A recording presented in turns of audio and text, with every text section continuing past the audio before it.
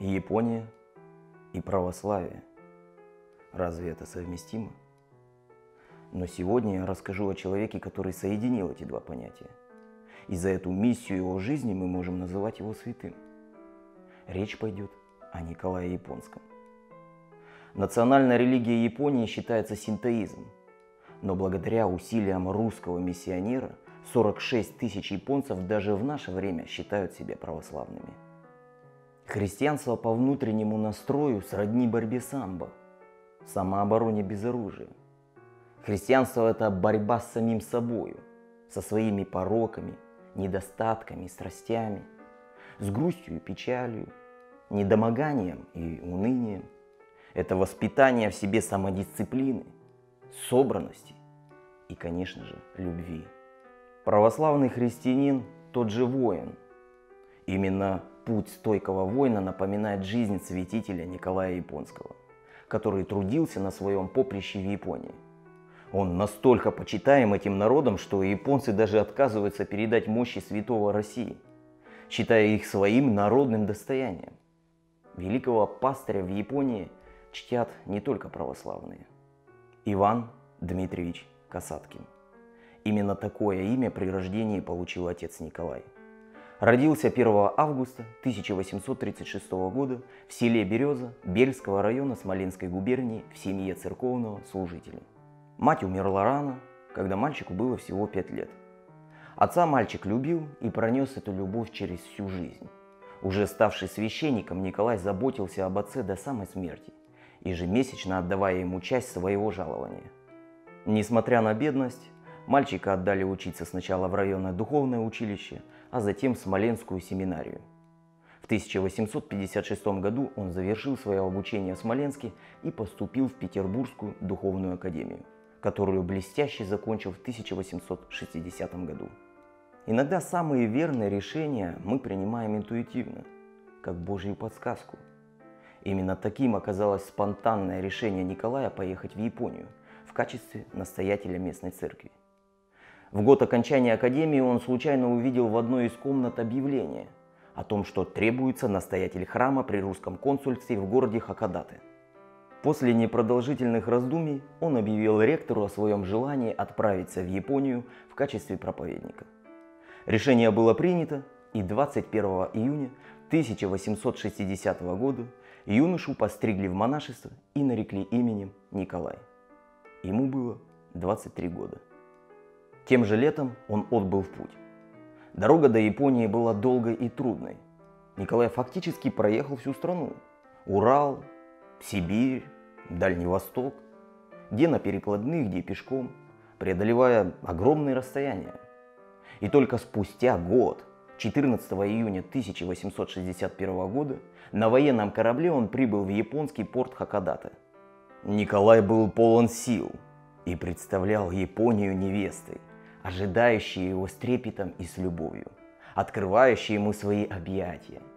В своих мечтах он видел, как тысячи японцев проникаются идеями православия и христианской мудрости. Но по прибытию его ждало разочарование и суровые испытания действительностью. В те времена Япония была довольно закрытой страной, а отношение японцев к любым иностранцам было крайне недоброжелательным и враждебным – Убийства иностранцев на почве культурных и религиозных разногласий в те времена в Японии были обычным делом. В стране восходящего солнца властвовал культ синтоизма. Проповедь же христианства и вовсе каралась смертной казнью. Рядовые обыватели смотрели на христианство как на секту, в которой могут состоять только самые отъявленные злодеи. Не стал исключением и отец Николай. Высокий, под 2 метра ростом, крепкого сложения. Статный Николай в глазах японцев был подобен былинному богатырю. Черты лица его тоже были крупными, во взгляде его чувствовалась сила. Поскольку он ходил в длинной черной рясе, то многих местных жителей раздражал только один лишь внешний вид православного священника. Вот как сам Николай вспоминал первые свои годы в Японии. Тысячи наговоров выливают тебе в уши, и это каждый день и час. И наяву, и во сне. И дома в келье, и на молитве в церкви. Много нужно силы душевной, великое углубление религиозного чувства, чтобы побороть все это. Но Николай был упорен в своем рвении, доброжелательно относясь ко всем ему встречающимся людям. Он стремился как можно глубже познать и изучить японскую культуру. Подолгу он общался с местным населением, узнавал об укладе и самобытности японских жителей. Поступил на курсы японского языка и в течение восьми лет упорно занимался его изучением. Впоследствии он практически в совершенстве стал владеть японским языком и по воспоминаниям современников знал культуру и историю японцев даже лучше, чем сами коренные жители. Именно это глубокое понимание и уважительное отношение к культурному наследию Японии помогло ему в дальнейшей просветительской работе. Первым обращенным в православие японцем стал Такума Савабе – 1835-1913 годы жизни. Бывший самурай, жрец старого синтоистского храма в Хакадаты. Японец постоянно сталкивался с Николаем со злостью и ненавистью, смотря на чужеземца. Как гласит предание, он пришел в дом Николая с мечом, чтобы убить православного монаха. Но Николай Японский спросил самурая, справедливо ли осуждать то, чего ты не знаешь? и предложил ему послушать о сути православной религии. Самурай в силу своей мудрости согласился и решил послушать его. Слова Николая потрясли его настолько, что он достал бумагу и перо и принялся записывать. После чего их встречи и беседы стали регулярными, и сам Такума глубоко проникся идеями православной религии. Начал тайком изучать Евангелие во время жреческих служб в синтоистском храме – Вскоре Савабе привел к Николаю двух своих друзей, врачей Сакая и Урано. В апреле 1868 года иеромонах Николай тайно крестил трех друзей в своем кабинете, после чего они покинули Хакадаты. Именно тогда, за пять месяцев до наступления эпохи Мэйдзи, эпохи просвещения, начала зарождаться японская православная церковь. В 1869 году Николай отправляется в Россию для того, чтобы подать прошение об открытии в Японии русской духовной миссии. Его ходатайство было удовлетворено самим императором. В 1870 году отец Николай вернулся в Хакадаты уже в сане архимандрита, возглавив русскую духовную миссию в Японии. Николай принялся за создание духовной семинарии, катехизаторской школы, стал издавать первые в Японии русские журналы – такие как «Православный вестник» на русском и японском языках и «Уранисики», что в переводе означает «скромность». Эти журналы знакомили японских читателей с историей, культурой и литературой России. Кафедральный собор в честь Воскресения Христова, построенный им в Токио, до сих пор называется Собором Николая, что по-японски звучит как Никарайдо. Собор был построен на добровольные пожертвования русских и японцев – какими человеческими качествами обладал Николай Японский. Вот как описывает отца Николая, близко знакомый с ним востоковед Поздеев. Вместе с мягкостью он был железным человеком, не знавшим никаких препятствий, практичным умом и администратором, умевшим находить выход из всякого затруднительного положения. Вместе с любезностью в нем была способность быть ледяным – непреклонным и резким с людьми, которых он находил нужным воспитывать мерами строгости, за что-либо карать или останавливать. Вместе с общительностью в нем была очень большая, долгим опытом и горькими испытаниями приобретенная сдержанность. И нужно было много времени и усилий, чтобы заслужить его доверие и откровенность.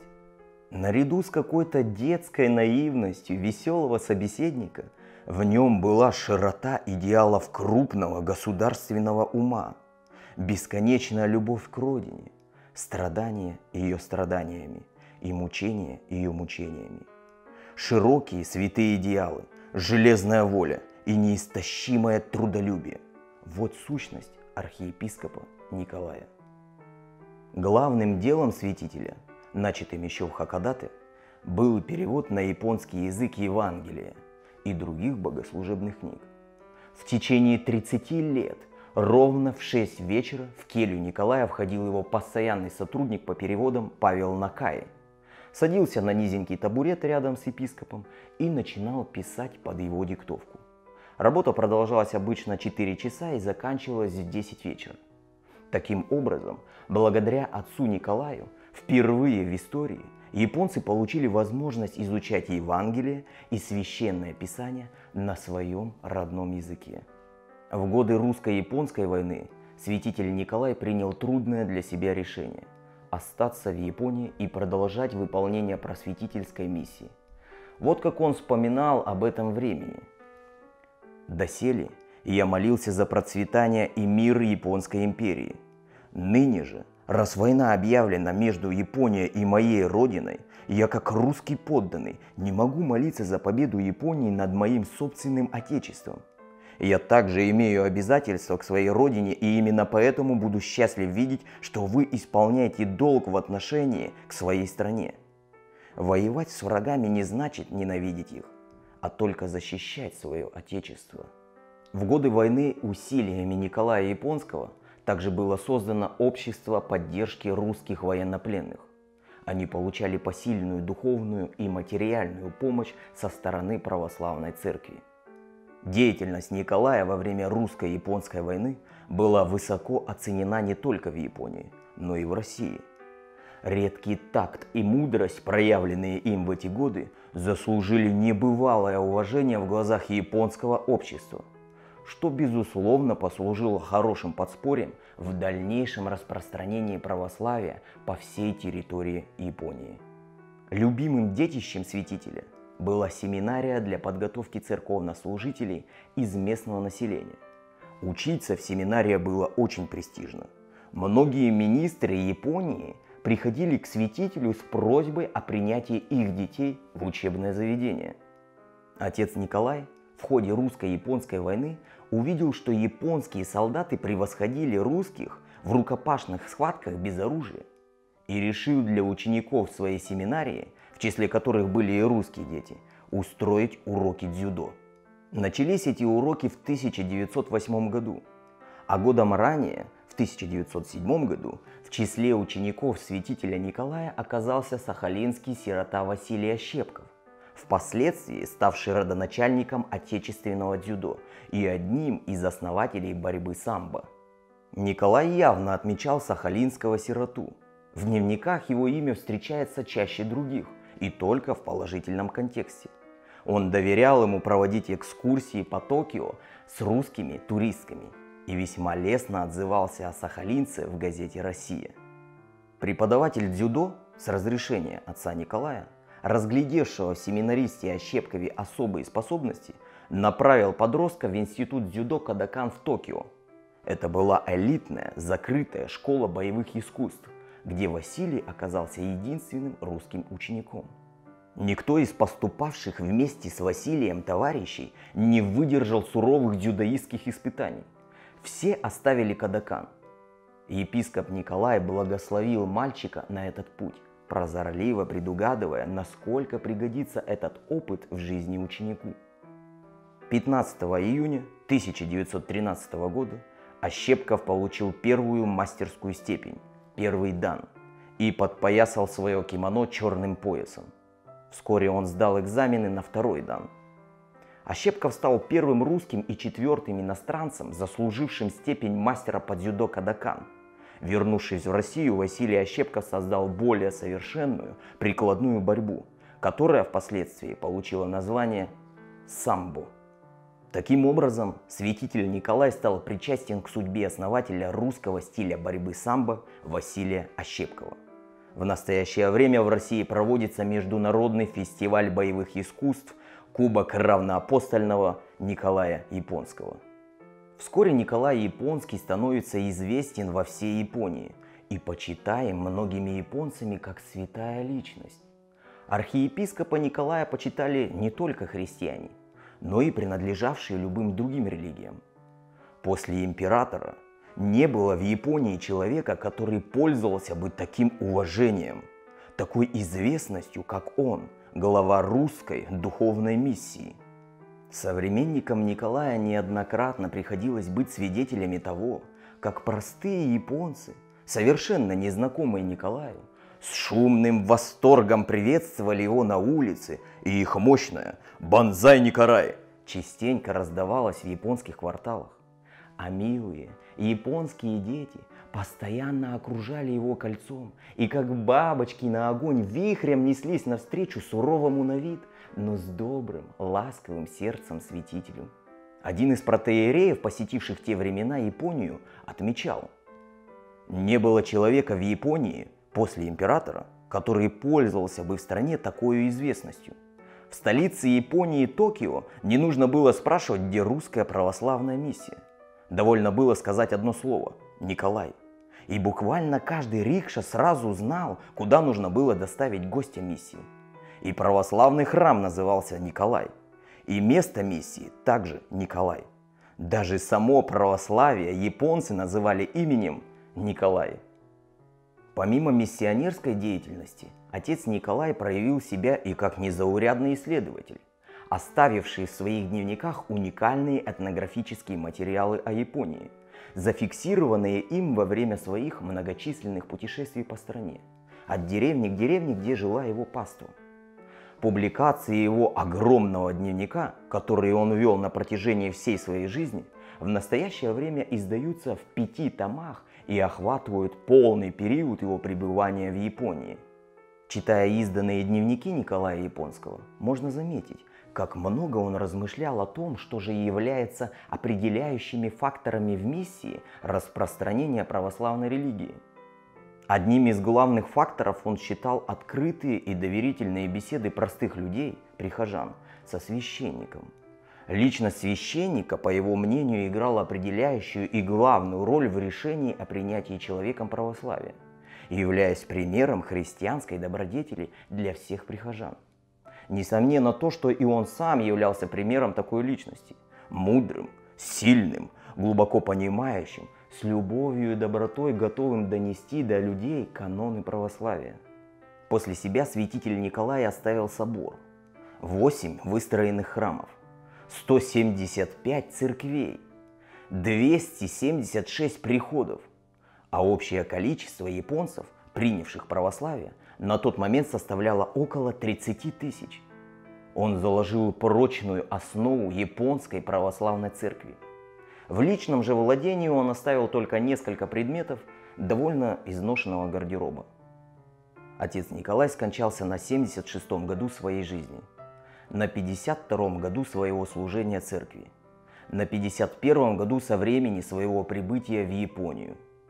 Представьте, 51 год назад, на момент смерти, в Японии не было христиан, а в этот день они тянулись бесконечно лентой с пальмовыми ветвями в руках проститься со своим учителем.